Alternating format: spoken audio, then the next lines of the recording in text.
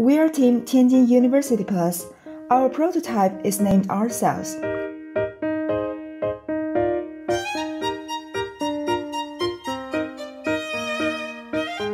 The roof of the building was inspired by traditional Chinese architecture.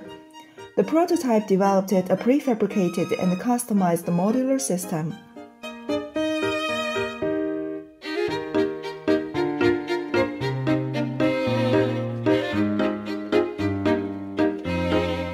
Architecture design concept starts from passive design strategies for nature lighting, ventilation, and solar gain. The design concept of smart connection is to build an intelligent system that can customize prefabricated modules and optimize their layout according to solar radiation. The parts processing and overall assembly of the submodules are completed in the factory and then transported to the project site for overall hoisting and assembling.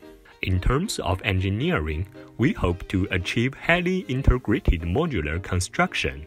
The main parts of the building are all prefabricated in the factory and assembled on site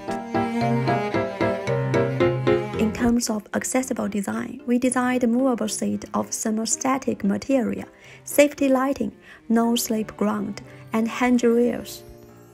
The living and dining room is organized as a reconfigurable open space.